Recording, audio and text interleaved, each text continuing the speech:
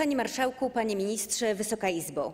Ustawa o planie strategicznym dla wspólnej polityki rolnej będzie swoistą konstytucją określającą zasady ubiegania się o środki finansowe z Unii przez polskich rolników.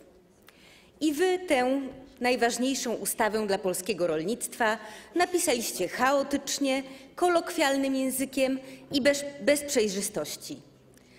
Tak naprawdę jest to otwarcie furtki do nadużyć.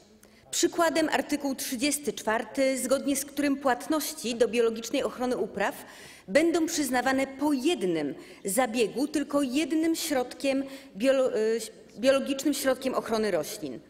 A gdy ten zabieg okaże się nieskuteczny, to dopuszczony będzie możliwość kolejnego zabiegu już ze środkiem chemicznym. To jest naprawdę pozbawione logiki. Będziemy przyznawać płatność za jednorazowe skorzystanie z biologicznego środka ochrony roślin, by na koniec wszystko i tak spryskać chemią.